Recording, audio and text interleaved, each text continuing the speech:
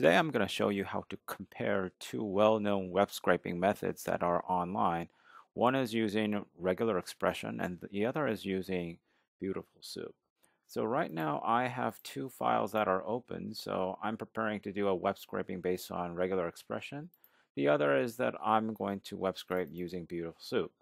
And today it's going to be a comparison session just to make sure that everyone understand what are the difference, differences between regular expression web scraping and beautiful scoop beautiful soup web scraping okay?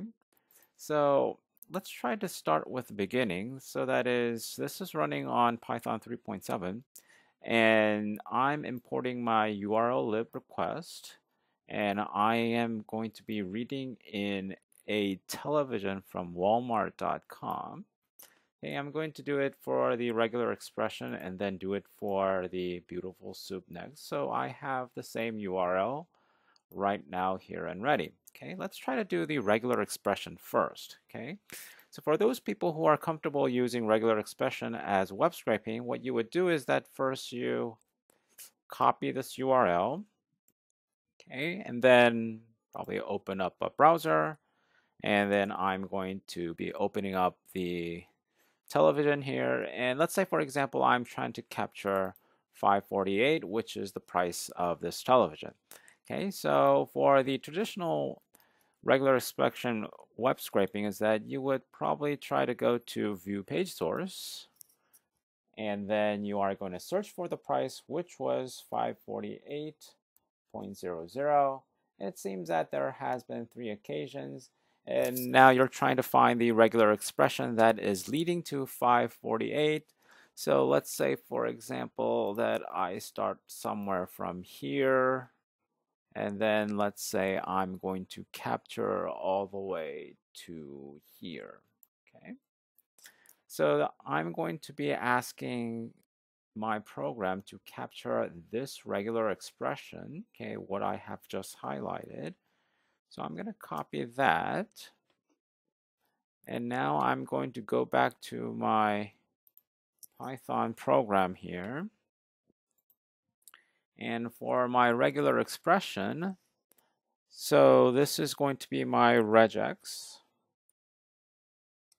And regex is going to be re dot find all And remember, this was the whole thing that I'm trying to read in right here.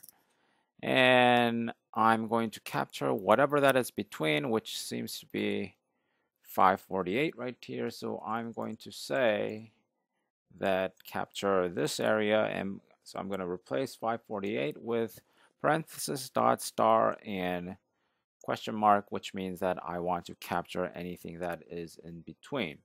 Okay, now in order to pass in regular ex expression, I need to pass in my HTML file, which I have just read as a text. So I would need HTML text, which is going to be HTML file dot read. Okay, and I'm going to ask my regex to be reading in this part so I'm going to pass it as a string, and that's going to be my HTML text. Okay. So I'm going to get that HTML text, and finally I'm going to do my print job. And remember, this was a Samsung 65 inch inch TV, and it is going to be printing out my price and that was my regex. Okay. So once I execute everything, let's see what happens here. So now I'm executing my file and it seems that I'm getting my 548 and that's my price. So I correctly get my price for my Samsung 65 inch television. Okay. Now how that is different from the beautiful soup is that for beautiful soup, you pretty much do the same thing. So that is, I'm going to pass in my HTML file to my beautiful soup, and I'm going to parse that HTML. and I'm going to name that as soup. Okay, and now I'm going to go to my website again here. And again, I'm trying to capture this 548. This is the price that I'm trying to capture. And I'm going to look here and try to see which one is more easier to capture.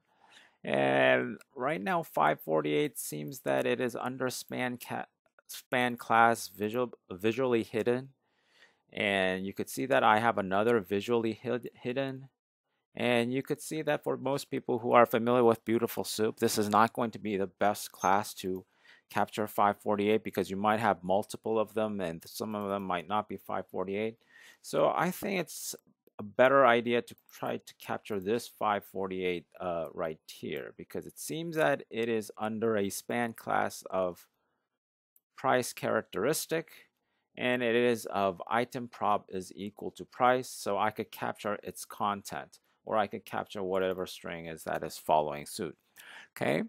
So I'm gonna go back to my program and what I'm gonna do is that I'm going to have soup find I think it was item prop item prop equal let me just copy this item prop equal price. So I'm going to copy that. I am going to paste it here. Okay, and I'm going to say this is price, which is the value that I'm trying to get. Okay, and now I once I have price, let's see what happens here. Okay, I'm going to be executing all this stuff.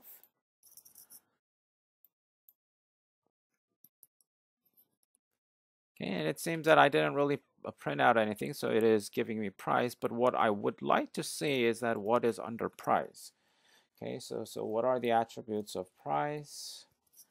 And it seems that ah, the attribute of price is, let me enlarge this, attribute of price is having attributes and under content it is having 548.00.